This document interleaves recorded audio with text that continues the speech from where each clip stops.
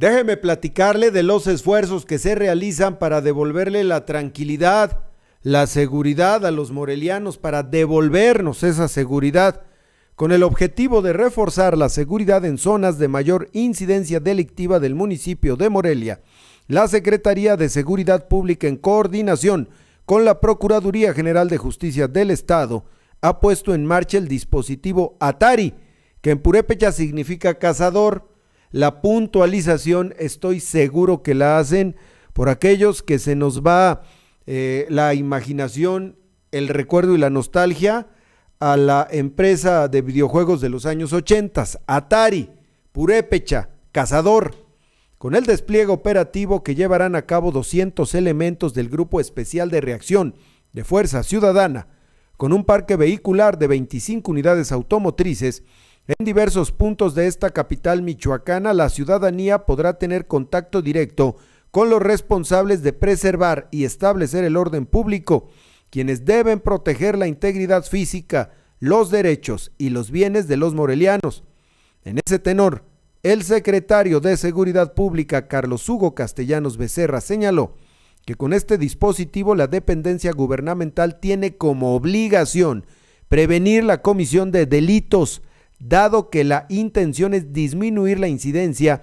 y generar una mayor presencia policíaca en el municipio, aunada a lograr un control territorial.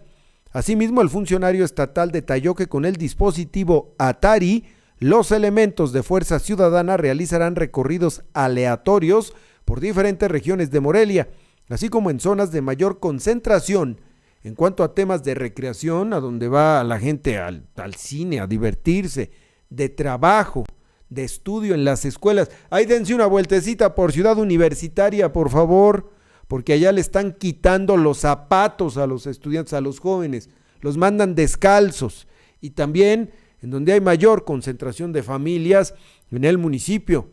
Durante la iniciativa, el inicio, perdón, de este operativo, que se efectuó en las instalaciones de la Secretaría de Seguridad Pública, el Procurador General de Justicia del Estado, Martín Godoy Castro, manifestó que con esta tarea de inteligencia se logrará detener a aquellas personas que se dediquen a los delitos, estos sean de alto, mediano, mayor, menor, a, los delitos que se estén cometiendo en la capital del estado de Michoacán. ¿Usted, qué cree, ¿Usted cree que funcione?